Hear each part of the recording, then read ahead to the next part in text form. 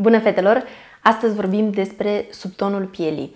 În ultima vreme eu v-am tot vorbit despre cum să alegem anumite culori în funcție de subtonul pielii și am observat în comentarii că multe dintre voi nu prea sunteți lămurite cu ce înseamnă treaba asta și atunci am zis că ar fi bine să facem un astfel de clip cu explicații pentru că și multe din uh, comentarii au sugerat uh, tema asta într-un video și iată-mă, mă prezint în fața voastră cu un astfel de clip pentru că îmi dau seama că este foarte necesar și pentru că sunt convinsă că o să vă ajute mm, extrem de mult.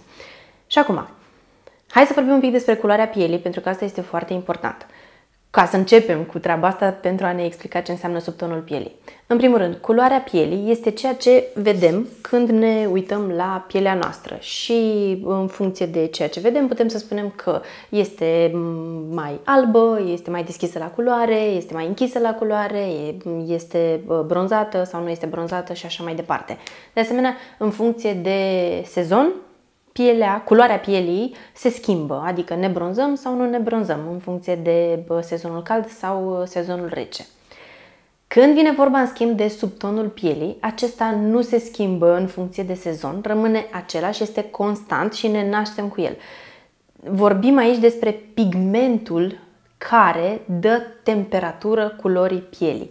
Adică, uh, indiferent că suntem bronzate sau nu suntem bronzate, că suntem mai deschise la culoare, pielea noastră are o anumită temperatură care este dată de subtonul pielii. Și anume, există trei tipuri, trei, da? Trei tipuri de subton de piele și anume subton cald, subton rece și subton neutru.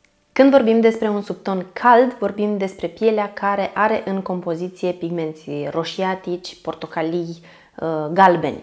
Când vorbim despre un subton rece, vorbim despre pielea care are în compoziție pigmenți albaștri, verzi.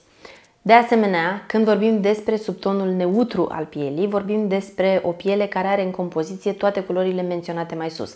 Și de asemenea, subtonul neutru este mm, pielea cea mai norocoasă pentru că îi se potrivește uh, o varietate mai mare de culori decât celelalte două subtonuri. O să vedem imediat despre ce este vorba când vine vorba de culori, când le alegem în uh, machiaj. Acum, cum ne dăm seama care este subtonul pielii noastre? Pentru că asta este întrebarea tuturor și există trei metode pe care o să vi le menționez eu în clipul de astăzi.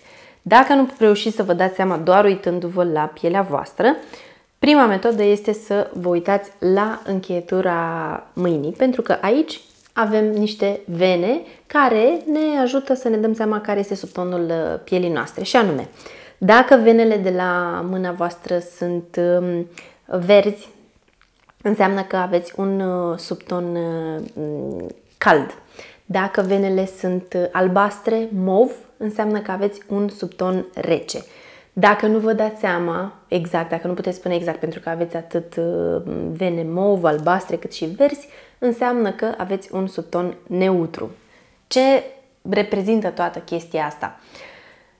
Știți că vă spuneam eu mai de mult că este important să ținem cont de, subton în, de subtonul pielii în machiaj pentru că în funcție de asta alegem corect fondul de ten, vom alege corect și culorile de haine cu care ne îmbrăcăm și așa mai departe.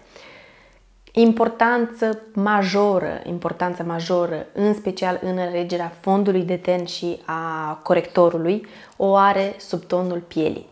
Bineînțeles că unui ten cu subton cald îi se va potrivi întotdeauna un fond de ten cu subton cald, adică galben, da?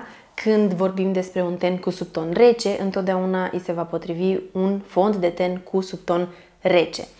Ca idee, când vine vorba de tenul uh, neutru, aici nu prea sunt probleme pentru că îi se potrivește uh, atât uh, când vine vorba de culori cu subton cald, cât și culori cu subton rece.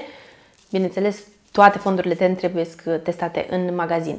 Dar, un lucru foarte important și ce trebuie să știți, dar eu aici generalizez, da? Și atunci uh, o luați așa ca pe o generalizare, marea majoritate a oamenilor de pe planeta asta au subton galben. De aceea, țineți cont atunci când mergeți să alegeți un fond de ten, să uh, aibă un subton galben, dacă acesta este subtonul pielii voastre.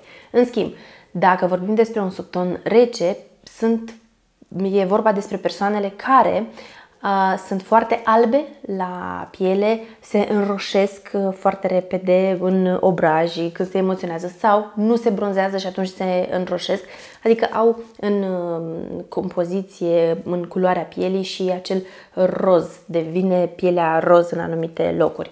Acela este, aceea este o piele cu subton rece. Un exemplu ar fi persoanele roșcate cu tenul extrem, extrem de alb. O altă metodă prin care puteți să depistați ce subton de piele aveți, dacă nu reușiți să vă dați seama din uh, venele de la încheietura mâinii, puteți să încercați cu o coală albă de hârtie, o puneți lângă gât și piept. Da, eu nu prea pot să vă arăt acum că mi-am luat un tricou care nu mă ajută, dar ca idee. Când aveți această coală de hârtie albă da? și o puneți lângă piele, dacă pielea voastră se pare ușor mai roșiatică, mai roz, înseamnă că voi aveți un subton rece. Dacă pielea apare mai galbenă, înseamnă că aveți un subton cald și atunci iată că ați uh, eliminat misterul. Dacă nu vă dați seama exact, nu este nici prea roșie, nici prea galbenă, înseamnă că aveți un subton neutru. Iar o altă metodă, mult mai ușoară de data aceasta, să alegeți două bijuterii, una din aur, una din argint sau nu neapărat din aceste două metale, una argintie, una aurie și să le puneți în zona gâtului și a pieptului și să vedeți care vi se potrivește mai bine, cu care vă simțiți mai bine și în funcție de asta vă veți da seama că subtonul vostru este fie cald, fie rece. Ok, acum că am lămurit aceste lucruri, sper că v-ați făcut și voi așa o idee în mare. Ce aș vrea să vă mai spun este că, tot o generalizare, uh, este că subtonul pielii, în cea mai mare parte a situațiilor, influențează machiajul feței, adică fond de ten, concealer, pudră și blush.